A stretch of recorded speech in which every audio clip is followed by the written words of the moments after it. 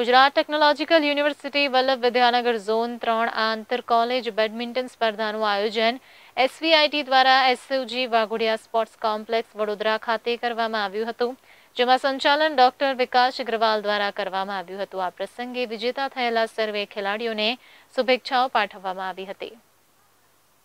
GTU Vallabh Vidyanagar zone badminton સ્પર્ધા યોજાઈ હતી આ સ્પર્ધામાં આણંદ પંચમહાલ મહીસાગર દાહોદની જીટીયુ સાથે સંલગ્ન એન્જિનિયરિંગ ફાર્મસી એમબીએ અને એમસીએ કોલેજોના ભાઈઓને ઓગણીસ ટીમ અને બહેનોની સોળ ટીમોએ ભાગ લીધો હતો સ્પર્ધામાં મુખ્ય અતિથિ તરીકે નેસ્ટના ચેરમેન રોનકભાઈ પટેલ ઉપસ્થિત રહ્યા હતા તેઓએ ખેલાડીઓને જણાવ્યું હતું કે જીવનમાં એક રમત હંમેશા રમતા રહેવો જોઈએ જેથી કરીને તમારી ફિટનેસ અને સ્વાસ્થ્ય ખૂબ સારું રહે ખેલ દિલ્હીપૂર્વક રમી સ્પર્ધામાં જે પરિણામ આવે તેની ચિંતા કર્યા વગર પોતાનું શ્રેષ્ઠ પ્રદર્શન કરવા માટે જણાવ્યું હતું સ્પર્ધામાં મુખ્ય પંચ તરીકે Kapadvanj college DP doctor Jagjitsinh Chauhan અને તેમની ટીમે ખૂબ જ સુંદર સેવાઓ આપી હતી અને સ્પર્ધાને પૂર્ણ કરી હતી. ભાઈઓની સ્પર્ધામાં સેમીફાઇનલમાં બીવીએમ કોલેજે એડીઆઈટી કોલેજને હરાવી ફાઇનલમાં પ્રવેશ મેળવ્યો હતો. જ્યારે બીજી સેમીફાઇનલમાં એસવીઆઈટીની ટીમે એમબીઆઈટીને હરાવી ફાઇનલમાં પ્રવેશ મેળવ્યો હતો.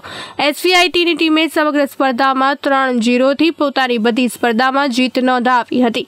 અને ફાઇનલમાં પણ એક તરફ મુકાબલામાં બીવીએમ કોલેજને ત્રણ જીરોથી હરાવ્યા બાદ ચેમ્પિયન થઈ હતી. બહેનોની સ્પર્ધામાં એસવીઆઈટીની બહેનોની ટીમે એડીઆઈટીની ટીમને ફાઇનલમાં હરાવી ચેમ્પિયનશિપ મેળવી હતી.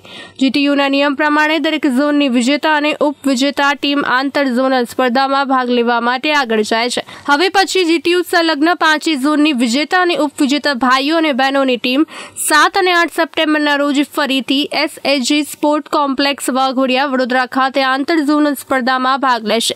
અને તે જ સમયે જીટીયુની બેડમિન્ટન ટીમની આંતર યુનિવર્સિટી સ્પર્ધા માટે ટીમની પસંદગી કરવામાં આવશે. સમગ્ર સ્પર્ધાનું સફળ સંચાલન ડોક્ટર વિકાસ અગ્રવાલ દ્વારા કરવામાં આવ્યું હતું સ્પર્ધાની અંતે વિજેતા ખેલાડીઓને મુખ્ય અતિથિ વડોદરા ડીએસડીઓ કૃષ્ણા પંડ્યા અને head coach badminton Vadodara SAG Akash Vadodariya દ્વારા મેડલ અને ટ્રોફી એનાયત કરવામાં આવ્યા હતા એસવીઆઈટી વાસદના અધ્યક્ષ રોનક કુમાર પટેલ ઉપાધ્યક્ષ હાર્દિક કુમાર પટેલ મંત્રી ગૌરાંગભાઈ પટેલ સહમંત્રી નૈતિક પટેલ ખજાનચી અલ્પેશભાઈ પટેલ ટ્રસ્ટી સંજયભાઈ પટેલ સતીશભાઈ પટેલ હેમંતભાઈ Patel campus director Dineshbhai Patel Acharya doctor S D Toliwal sports director doctor Vikas Agrawal અને સમસ્ત એસવીઆઈટી પરિવાર તરફથી ખૂબ સુંદર પ્રદર્શન કરી વિજેતા થયેલ સર્વે ખેલાડીઓને શુભેચ્છાઓ પાઠવવામાં આવી હતી मैं आदित्य कदम एस कॉलेज में पढ़ता हूँ मैं इसी डिपार्टमेंट में पढ़ता हूँ और मैं अभी एस टीम के बैडमिंटन टीम का कैप्टन भी हूँ हम अभी तीन साल से